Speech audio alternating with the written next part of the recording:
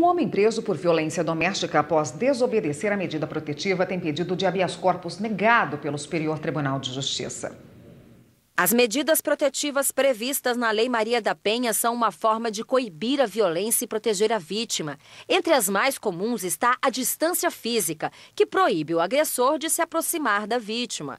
Mas, apesar de ser uma determinação judicial, há quem descumpra a medida. Você tem um problema de monitoramento da execução dessas medidas.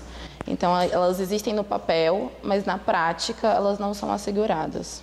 No Mato Grosso do Sul, um homem proibido por medida protetiva de se aproximar da ex-companheira foi preso preventivamente por violência doméstica depois de desobedecer a determinação de manter distância da vítima.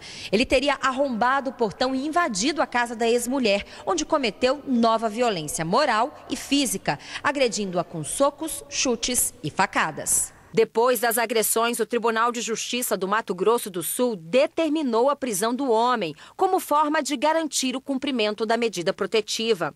A defesa recorreu ao STJ, alegando ausência de fundamentação para a prisão e pediu também o direito de o homem aguardar o julgamento em liberdade. A presidente do STJ, ministra Laurita Vaz, rejeitou o pedido da defesa e afirmou que a prisão preventiva é necessária para garantir a ordem pública, já que houve episódio de descumprimento de medida protetiva. Durante muito tempo, inclusive, se achou que, mesmo nos casos em que houvesse descumprimento da medida, a prisão preventiva só seria cabível nas hipóteses elencadas no Código de Processo Penal.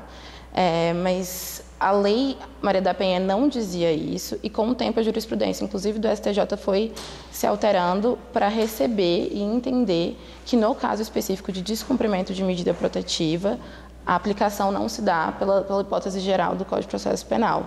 E aí a própria Lei Maria da Penha trouxe uma alteração no Código de Processo Penal para que haja uma atenção especial para essas situações.